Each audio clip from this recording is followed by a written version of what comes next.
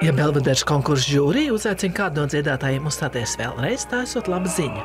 Un pusfinālā mūsu baritons Kalvis Kalniņš pēc Valentīna Kavatīnas no Fausta šo uzaicinājumu saņēma. Žūrija lika viņam nodziedāt Andreja arī no Prokofjeva operas Karš un miers. Protams, ir patīkami apzināties to, ka es esmu atstājis pietiekami lielu iespaidu ar pirmo skaņdarbu, kad vēlas mani dzirdēt vēl. Un, un, un līdz ar to sirdī paliek priecīgāk, neskatoties uz to, ka ļoti agri bija jādzēd šorīt un, un, un, un grūtas lietas bija jādzēd.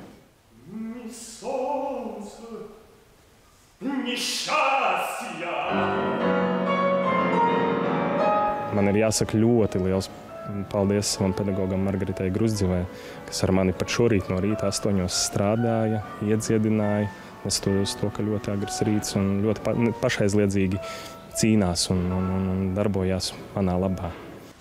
Mūsu otrs baritons Rihards Millers dziedās šodien, bet žūrija jau noklausījusies visjaunāko dalībnieci - mūsu soprānu Līgu Gitu Zīriņu un viņas izpildīto ārī no Mocarta Figaro kāzām. Pianistē Agnesē Eglējai konkursu laikā nāks muzicēt ar daudz valstu dziedātājiem. Katram jāatrod arī kāds stresa noņemamais vārds. Psiholoģiski ir ļoti grūts uzdevums. Tiešām tev ir dots tās 7, 8 minūtes, un tev ir jāparāda vislabākais sniegums. Tev ir tik tiešām jāpaņem tā žūrī, tā uzmanība uz sevi, jo mainās tie dziedātāji un mainās stili, un, un tik tiešām tev ir nu, jāmirdz. Ja? Jauno dziedātais konkursā vērtē īpaša žūrija, kuras sastāvā ir prestižāko pasaules operam direktori no Londonas Karaliskā Govena Gādena, Berlīnas, Dresdenes, Diseldorfas, Madrides, Hamburgas, Maskavas Lielā teātra un citiem operamiem. Latviju pārstāv mūsu operas vadītājs Zigmars Liepiņš. Really It's... Belvederas konkurss ir ļoti svarīgs. Operdziedātāju pasaulē īpaši nozīmīgs. Mums ir iespēja satikt lielo operam vadītājus, intendantus, un mums tas ir ļoti svarīgi. Un jūsu iespējas par mūsu zemi?